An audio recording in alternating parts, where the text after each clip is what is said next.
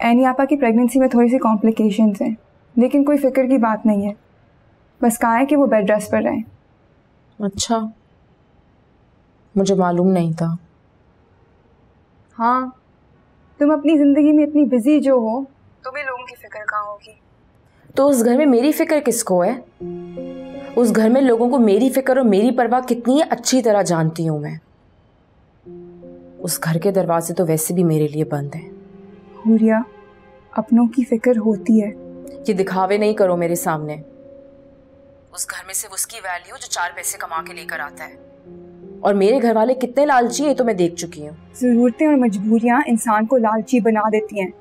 जब घर के खर्चे होते हैं कर्ज होते हैं रोज़ का खाना होता है तो इंसान को घर से बाहर निकल कर पैसे तो कमाने होते हैं।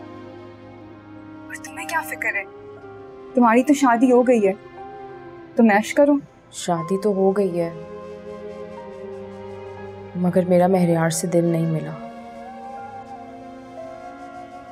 मैं मोहब्बत नहीं करती महरियार से। कोशिश करो। चांदनी मोहब्बत कोई सबक नहीं होता जिसको कोशिश करके रट्टा लगा लिया जाए। तो बहुत सख्त टीचर होगी ना? अपने स्टूडेंट्स के सामने कोशिश करो कि नारे लगाकर उनका बुरा हाल कर देती होगी। अफसोस की बात तो यह है कि मेरे अपने बहन भाई मुझे समझ नहीं सके। तुम भी अपने बहन भाई को कभी समझ नहीं सकी। लेकिन तुमसे किसी ने गिला नहीं किया। तुम जब भी चाहो तुम आ सकती हो मिलने। मुझे नहीं आना। हुरिया बहन की जगह अपनी होती है और भाभी की अपनी।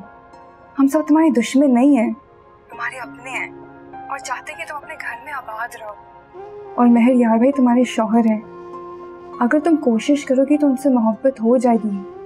मगर तुम कोशिश करो तब ना। खुदा हाफिज़।